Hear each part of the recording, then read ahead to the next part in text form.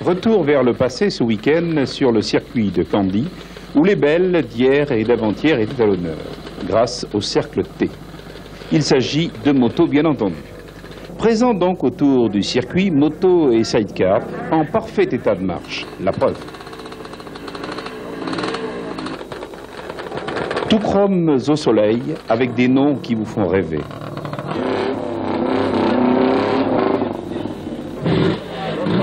Prochaine manifestation, 21e bourse d'échange à Haute-Rive, les 3 et 4 octobre 1992.